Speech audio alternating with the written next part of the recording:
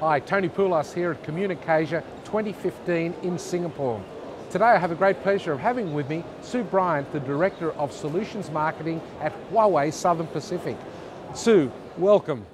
We're hearing a lot about smart cities, but what exactly does the term mean? It's a really good question, Tony. I mean, I think it's an overly used term.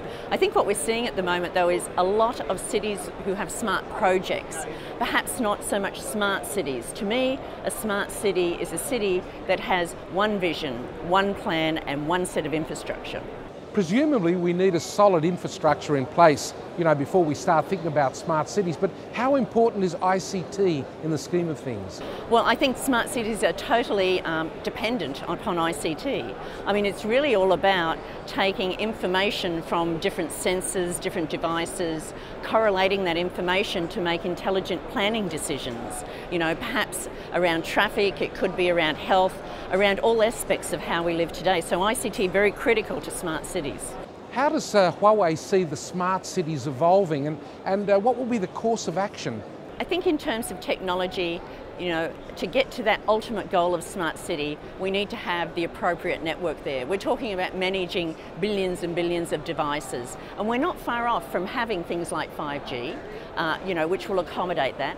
I believe also the other uh, other technology that needs to be put in place is the the correct uh, operating system for all these devices. You know, so that these devices can actually have a common interface to all the applications. And of course, big data is going to play a big role again in smart cities. So I think network, operating systems, big data, and then of course the applications. So we're talking here about the Internet of Things as well, aren't we? Absolutely, because that's what smart cities are based on is the Internet of Things. And what role do you see Huawei playing in these plans?